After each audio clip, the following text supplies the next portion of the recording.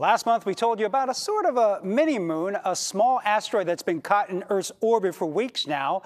As that space rock, though, gets ready to bid us farewell, some local researchers told our Brian Hackney they have a new idea of where it could have actually come from.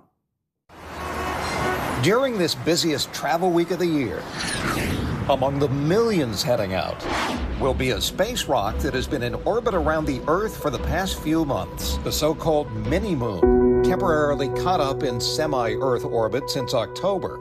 As to how it came to be here in the first place, a startling theory of its origin. Foothill College astronomy professor Jeff Matthews explains. Imagine that instead of being here at Foothill College, you were on the moon. A few million years ago, watching and seeing an object come streaking in from space. Boom, boom pieces of the moon itself being launched up into space.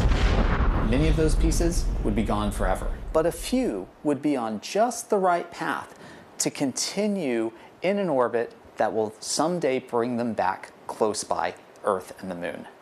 That's what might have happened. A piece of the moon temporarily giving us two moons that, by the way, look nothing like this.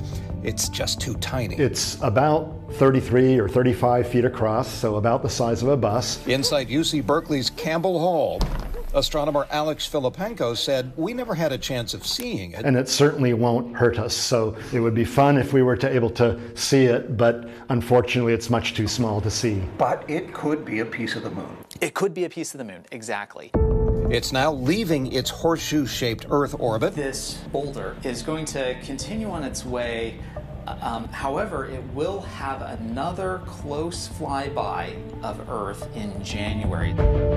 Then it's gone for decades, not visiting its possible parent again for 30 years. Still, an amazing revelation. But that's how all science goes. We make this discovery here and this discovery here, and it's over time we put together this bigger picture. So this could be a chip off the old block. you said the pun, not me.